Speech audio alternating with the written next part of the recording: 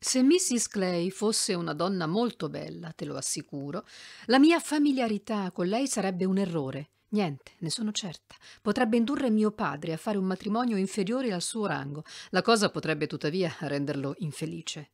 Ma la povera Mrs. Clay non la si può certo considerare nemmeno minimamente piacente. Penso proprio che la povera Mrs. Clay possa star qui con noi in tutta tranquillità. Si potrebbe pensare che tu non abbia mai udito nostro padre parlare dei suoi difetti, anche se so che devi averlo sentito almeno cinquanta volte. Quel dente e quelle lentiggini. Ho visto volti che non erano sfigurati da qualche lentiggine, ma lui proprio non le tollera. Devi averlo sentito alludere alle lentiggini di Mrs. Clay. Non esiste un difetto fisico, rispose Anne, che a poco a poco non riesca a farsi perdonare da modi piacevoli e garbati. Io la penso molto diversamente, rispose Elizabeth con piglio deciso. I modi piacevoli e garbati possono sottolineare dei tratti squisiti, ma non riusciranno mai ad alterarne di ordinari. Tuttavia, siccome per me la posta in gioco su questo punto è molto superiore a quella di chiunque altro, Ritengo assai poco utile che tu mi dia consigli. Anne non disse niente. Era felice che la conversazione fosse finita e non disperava di aver agito per il meglio. Elizabeth, nonostante fosse risentita per quel sospetto, avrebbe forse aperto gli occhi. L'ultimo compito della carrozza fu quello di accompagnare Sir Walter, Miss Elliot e Mrs. Clay a Bath. Erano tutti d'ottimo umore quando partirono. Anne, con un senso di desolata tranquillità, diresse i suoi passi verso Kellynch Lodge, dove avrebbe dovuto trascorrere la prima settimana. La sua amica non era in condizioni di spirito migliori delle sue. Lady Russell soffriva molto per questa separazione della famiglia, teneva alla loro rispettabilità come alla sua, e il contatto quotidiano con loro era divenuto per lei una preziosa consuetudine. Era doloroso far errare lo sguardo sulle loro terre abbandonate e ancora più doloroso pensare in quali mani sarebbero finite. Così, per sottrarsi alla solitudine e alla melanconia di quel viaggio, ora così diverso, e per essere lontana il giorno dell'arrivo dell'ammiraglio e di Mrs. Croft, decise di partire il giorno che avrebbe dovuto separarsi da Anne.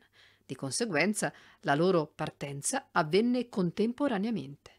Uppercross era un villaggio abbastanza piccolo che fino a qualche anno prima aveva conservato tutte le caratteristiche del vecchio stile inglese. Qui Anne aveva soggiornato di frequente, conosceva le abitudini di Uppercross non meno di quanto conoscesse quelle di Kellynch. Le due famiglie si incontravano spessissimo, avvezze com'erano a entrare e uscire da una casa all'altra tutte le ore. Benché fosse più intelligente della sorella maggiore, Mary non possedeva la capacità di comprensione e lo spirito di Anne. Quando stava bene, si era felice e si sentiva al centro delle attenzioni, era d'umore eccellente e spiritosa, ma la minima indisposizione le causava una profonda depressione non riusciva a fronteggiare la solitudine e, avendo ereditato una buona razione della presunzione degli Elliot, era assai pronta ad aggiungere a tutte le sue pene quella di considerarsi trascurata o maltrattata. Era meno bella delle due sorelle e anche nel fiore degli anni era stata considerata tutt'al più una bella fanciulla. Adesso era distesa sul sofà sbiadito del piccolo ed elegante salotto. Quando Anne apparve, la salutò con un Finalmente sei arrivata. Cominciavo a pensare che non ti avrei mai più rivista. Sto così male che riesco a malapena a parlare. Non ho visto anima viva per tutta la mattina. Mi spiace che tu non stia bene, rispose Anne. Giovedì scorso mi avevi fatto sapere che tutto andava per il meglio.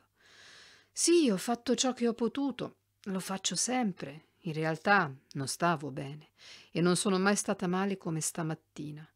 Non riesco proprio a stare da sola, davvero. Pensa se mi sentissi malissimo all'improvviso e non riuscissi a suonare il campanello. Oh, Anne, sto così male. Sei stata davvero cattiva a non venire giovedì scorso. Mia cara Mary, ricordati che mi hai mandato notizie confortanti sul tuo conto. Mi hai scritto con un tono allegro, dicendo che stavi benissimo e che non avevi urgente bisogno della mia presenza qui. E che stando così le cose, puoi certo capire quanto desiderassi restare con Lady Russell fino all'ultimo. Povera me. Cosa mai puoi aver avuto da fare tu? Un sacco di cose, te lo assicuro, più di quante ne riesca a ricordare in questo momento, ma te ne posso elencare alcune. Ho fatto un duplicato del catalogo dei libri e dei quadri del babbo. Ho dovuto sistemare tutte le mie cosette, libri e spartiti da dividere, rifare tutti i bauli perché non avevo capito in tempo cosa era stato deciso a proposito dei mezzi di trasporto. E un'altra cosa ho dovuto fare, Mary, una cosa sai più difficile, andare in quasi tutte le case della parrocchia per una specie di commiato. Oh, bene. E dopo un momento di pausa. Ma non mi hai ancora chiesto nulla del nostro pranzo di ieri dai pool. Allora ci sei andata. Non ti ho fatto domande perché pensavo che fossi stata costretta a declinare l'invito. Oh sì, ci sono andata. Ieri mi sentivo molto bene. Non ho avuto niente fino a stamane. Davvero, sarebbe stato strano non vi avessi preso parte anch'io.